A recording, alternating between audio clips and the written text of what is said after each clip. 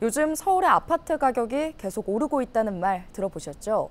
그런데 노원과 도봉, 강북 등 이른바 노도강 지역만 하락세를 면치 못하고 있습니다.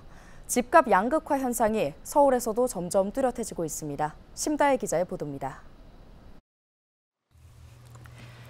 서울 도봉구의 이 아파트 전용 84제곱미터는 지난달 6억 원에 거래됐습니다. 두 달 새 9천만 원 가까이 빠졌습니다. 노원구의 이 대단지 구축 아파트도 상황은 비슷합니다. 지난달 전용 45제곱미터가 3억 6천만 원의 주인이 바뀌었는데 두 달 전보다 8천만 원이 하락했고 최고가와 비교하면 절반 수준으로 주저앉았습니다.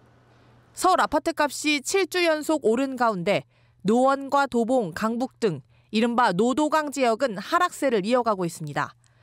대출을 통해 내 집 마련에 나섰던 3, 40대 영끌족의 거래가 많았던 곳인데 고금리 상황이 장기화되고 집값 상승 기대감이 떨어지면서 급매를 내놓고 있는 겁니다. 하려고 나와 있는 매물은 엄청 많고요.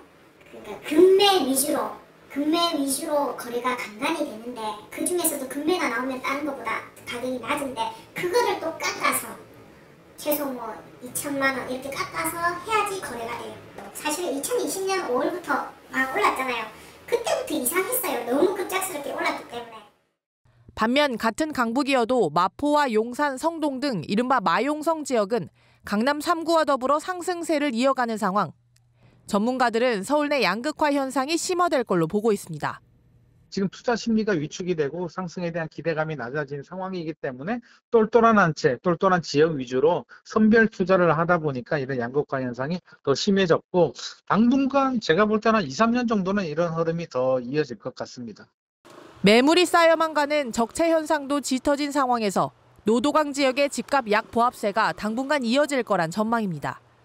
헬로티비 뉴스 심다입니다.